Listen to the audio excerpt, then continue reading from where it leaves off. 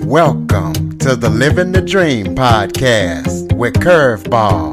If you believe, you can achieve.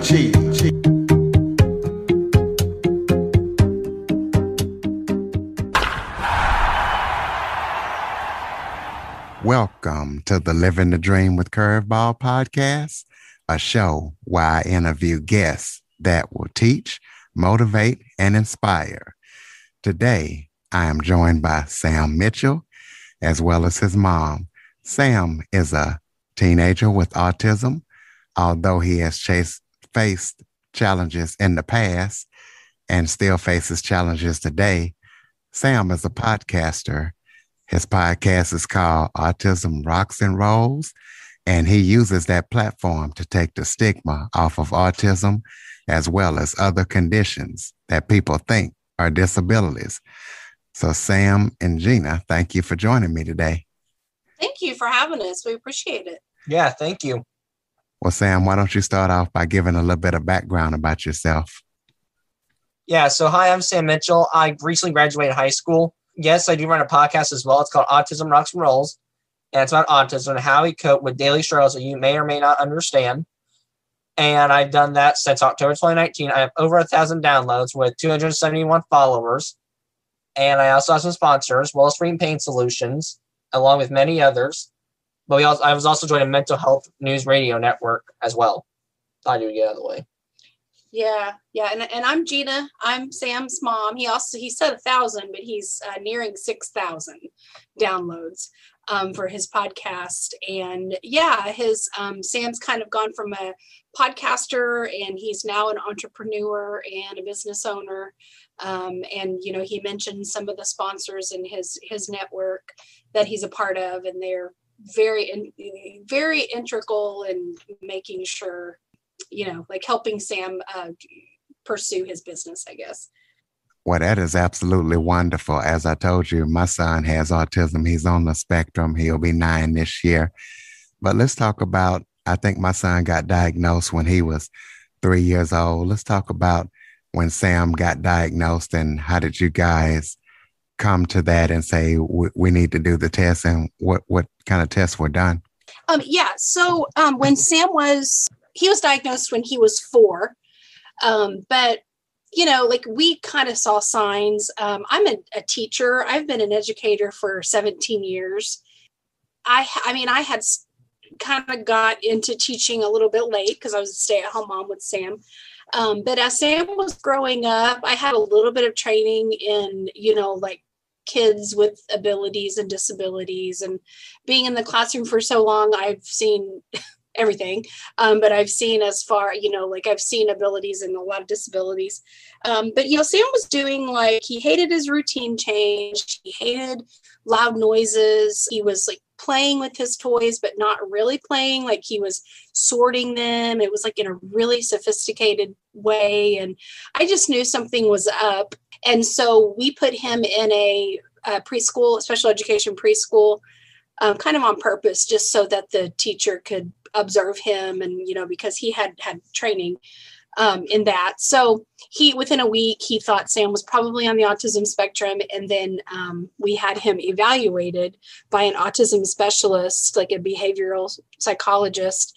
And she diagnosed him through the school when he was four. And then as Sam grew up and you know, like with raising any child, um, there were times that it was um, pretty tough, you know, but we we we never really thought of autism as a disability.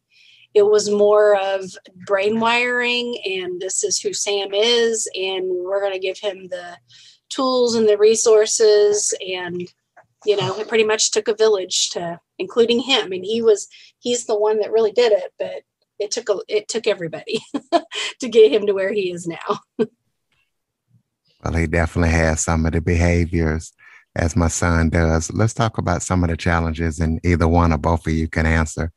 What were some of the challenges that he faced besides the sorting the toys and the, the tough routine changes? And the challenges that he faced in the past and that he currently faces now, are they different or?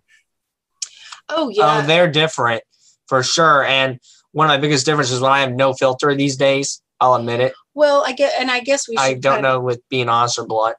I guess too with when he was younger, you know, like I, I don't really think that he knew that he had challenges. He was just him, and things were hard. And but yeah, I mean, when you have a child that's on the spectrum, like Sam just said, as time goes on, the challenges change. Um, you know, Sam is now an adult, and now everything is shifted to okay, now we have an adult son who has autism, and you know, you have to go like a certain route with that. So it definitely, definitely changed. Um, what kind of challenges do you have now? It's an honesty bluntness. The no filter. Definitely, I don't. I don't compromise. I don't do Plan Bs. Never have. Never will.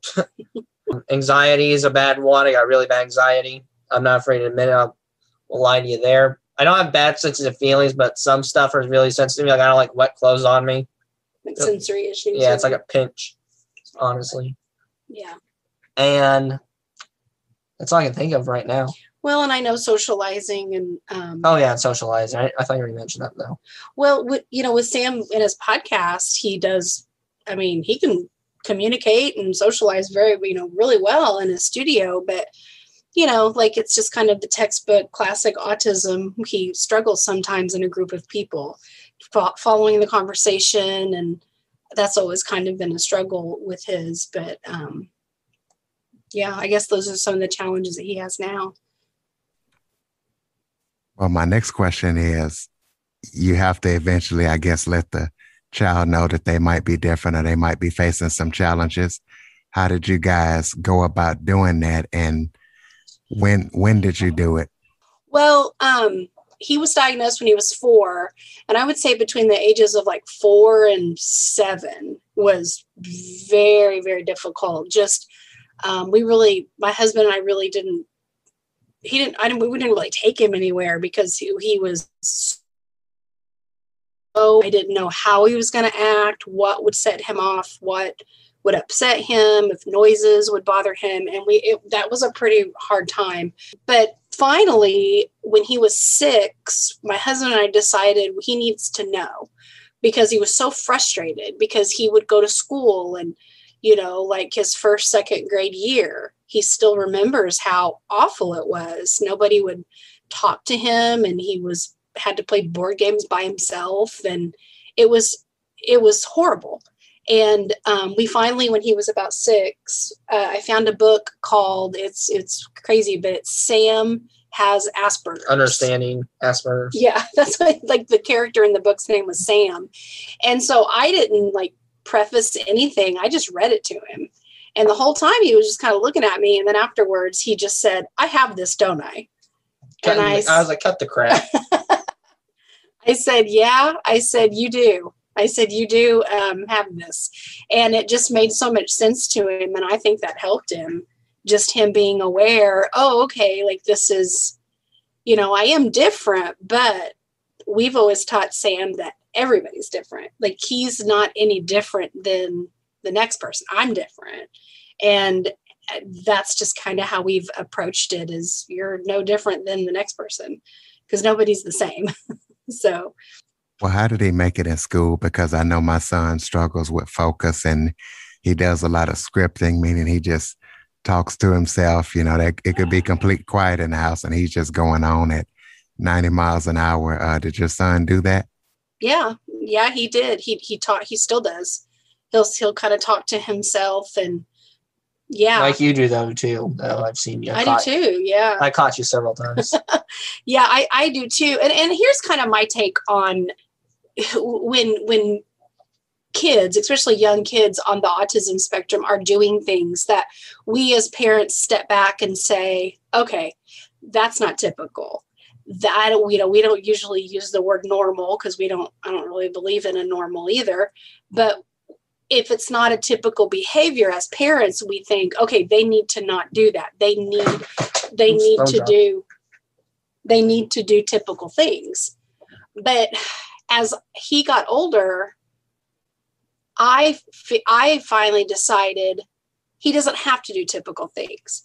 As long as no as long as he's not hurting himself and he's not being disrespectful that was always a huge thing in our house was he's not he, he cannot that's just not tolerated for him to be disrespectful. And as long as he's healthy and comfortable with himself i just never i didn't care he can talk to himself all he wants. Now, if he talks to himself in public as a 20 year old man, that's not appropriate. And so we had to really teach him like, if you want to talk to yourself all you want, but just know when the time and the place is. So that's kind of how we approached it was like, I never really worried. I mean, I worried, but I didn't overly worry if he was doing something kind of odd. Well, how did you guys explain to other people that he has some challenges? Because I know my son, he'll be playing with people and then out of the blue he'll say i don't like you and you hate me. And they think it's weird because they're just sitting there playing and all of a sudden he just busts out with this stuff and it, and it kind of puts them off. So how did, did you guys have to face that challenge and how did you have to let people know that hey there's some issues there? Um we basically told them Yeah. and i basically was like oh i still have those moments even when i'm like 18 still i still have those moments i'm like oh shoot i apologize probably should have approached it differently try to like i jokingly weasel my way out of it like you know he's i have autism blah blah blah diastatus for blah blah blah Yeah, I think it's just education. I think it's in that moment you say, you know, you know, I apologize if anybody was offended, but you know, my son has autism and sometimes he can't help that. And I think it's just that power of that power of education. but then yeah i'm gonna apologize too though yeah yeah absolutely but but then i think sometimes that i think that's kind of like in society i think that's just that stigma and that negativity with autism um you know i don't know i don't know how it, it's almost like you do have to teach your children autism or not like how to behave in public and how to be respectful but i also think there's room for everybody. I think there's room for everybody's quirkiness. And I know I'm weird. I mean, I'm really weird and I don't care. and I raised no Sam. she dances 24 7 believe me and how old are you hey, we're not going to talk about that. oh yeah that's right you're 50 years old no. So I don't know. I just, I guess maybe when Sam was younger, I did, I did worry a lot. But as he got older, I was just like, you know what? I don't even, I don't even care. Like Sam, Sam, I'm me, and we're just, we're going to be ourselves. So, but yeah, I, we did have to explain sometimes, but we never cared to. It is what it is. I mean, he has autism, and that's just a little piece of him. So well speaking of being younger did sam ever get on medicines when he was younger that he outgrew and had to switch up some medicines or increase because he would go back to the same behavior that the medicines were supposed to help. I've been told that by parents that have older kids that they can outgrow the medicine and you might have to switch up some stuff. No, um, I have I've haven't outgrown any medicine. I've had food allergies, but I haven't outgrown them either. So I've outgrown. I haven't outgrown anything. I I need Adderall. That's my biggest medicine that I need is Adderall. Otherwise, I get too anxious and it's awful. I'm not mentally there. There's no no one opens the door typically, mhm. and that's pretty much. But I could take other like allergy medicines, but that's it. the Adderall he started when he was in fourth grade. And we tried several before that. And, you know, it was either making him like having an adverse effect where it was he was like way too hyper, or it was making him not eat, or it was making him way too groggy. So um, I know Adderall kind of has a bad name because a lot of people are like, it's just legal crystal meth, basically, or like legal cocaine. Um, it's kind of in the same category as that. But on the flip side of that, when you have, you know, a child that's getting all D's and F's and can't function in a classroom, and then you find this medicine, and then he goes from that to like an AB student, and his teacher's like, "We found the one. Don't ever take him off of this." I If, mean, if I had have, if I had have cocaine in my body to help me, then so be it. At this point, it's it's not cocaine, but that's what a lot of people that like are against ADHD medications. that's their argument is why are we giving our kids this? But you get to where you I like to talk to that person. you've got to help them. Like you've got to you've got to help them function. So his medicines really haven't altered too much as the years went on. Well, let's switch it up and talk about the Autism Rocks and Rolls podcast. Tell us about that podcast and what made you start the podcast. How can people listen? Yeah, so I started in October 2019.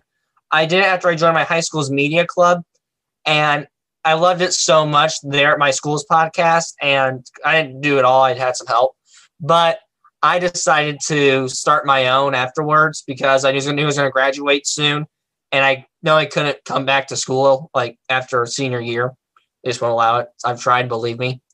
So that's when I decided to make my own podcast and start Autism Rocks and Rolls. So I don't let my cool thing or my thing that I've done, uh, the thing I love so much, die out on me. Well, are there any projects that you guys are working on and any upcoming projects that people need to know about? Yeah, actually, we can share some of that. So we're working with someone who is actually here like a few minutes. We gotta get off and talk to him. Yeah, yeah, yeah. We we gotta talk to him. So He's gonna help us with set up a little documentary or a little friend video on how to make friends for autistics. I guess is the way to put it, or mm-hmm. people on the spectrum. And another one would another one would be from at there's a equine therapy place at in our local area. It's called PALS, People and Animal Learning Services. I'm gonna do an experience there with the horses. So we're waiting on that next month. So those are the only two big projects I can think of at the moment. Yeah, and we, you know, we're constantly keeping in touch with all of his sponsors. Excuse me, Sam has about 13, 14 sponsors for his podcast, and that, you know, they're just, they're awesome. And we're always kind of keeping in touch with them. Um, and yeah, the equine therapy project. Um, Sam has a really big guest next month that we're kind of prepping for. Um, it's WWE wrestler Mick Foley is going to be on Sam's show, so we're really pumped about that. Um, so, so we, we have little little things here and there, but um, We got big things coming up. definitely definitely keeps me busy. Yeah, that is great to be interviewing Mick Foley. I just got a couple of more questions for you. The first is what kind of therapies did Sam participate in to kind of help with his autism when he was younger and maybe even now? Uh, counseling, but not as much counseling now. It's kind of kind of always done self therapy for myself, really. Not a lot of therapy. And speech therapy, that's actually a big one. I probably should have duh. I did speech therapy for a long time, like my whole school year, learning how to do social the correct way, what society wanted, but I don't get it sometimes. And OT, which is occupational therapy, just learning the basic stuff like tying a shoe and trying to figure out how to handwrite neatly. That was in the earlier years Yeah. yeah. The the speech therapy was very very valuable with recept because expressive language he's fine like he can express himself very well. But receptive language you know like the processing and the, the kind of the um, context clues and the clues coming in when, when he received things that was kind of tough for him. But he does have a life coach right now and just taught he, he's he's had a couple of counselors just to talk things out. So um, that's he, Sam's a very good self advocate for himself. You know, I'm I've got his back and I'm his number one fan, but I try to really step back a lot to try to let him figure things out on his own because I think that's important. Well, that's wonderful. Go ahead and throw out the contact information so people can contact you and check out your documentary when it's completed. Well, it's the documentary long, but it could be like a short friend video. So where you can find me is Podbean, Spotify, YouTube. But if you look at my website, it has everything from like my contact info to the guest I've had. It has everything on there. It's at autismrocksandrolls.com. And yeah, he has sponsorship if anybody's interested in sponsoring Sam. Um, Sam also does podcast coaching. So he um, has he's been hired a few times for that so far. So and trying into public good. speaking. Public speaking, uh, ads. He sells ad space. So yeah, everything's on the website. That's a really good place to start. Absolutely. Sounds like you're definitely doing great things. Give us some final thoughts um, from both of you guys before we close it out here. Anything that you want to say and kind of let people know about autism? well, I just want to say thank you for having me on, first of all. And it's been it's been nice meeting you. Yeah, you the same. We really appreciate Sam getting to spread his message, and um, I, I, guess I would say too is as far as autism and society, you know, Sam's always been on a mission to show people that he isn't broken. Um, he doesn't need to be fixed. He doesn't want to be fixed because there's nothing to be fixed. Um, so that's just I that, that's what I always try to tell parents, especially parents that maybe their their children are newly diagnosed and they're freaking out like I did. Um, but in the long run, it's really okay. It's really, it really, really will be okay. And that's what I was um, try to try to tell people, I guess. So, ladies and gentlemen, be sure to visit autismrocksandrolls.com. And if you are an Android listener, go to the Google Play Store and download the Living the Dream with Curveball podcast app. And be sure to follow, rate, share, and review after listening. Sam and Gina, thank you so much for joining me today. Thank you so much. It was very nice to meet you. For more information on the Living the Dream podcast, visit www.djcurveball.com. Until next time, stay focused on living the dream. dream.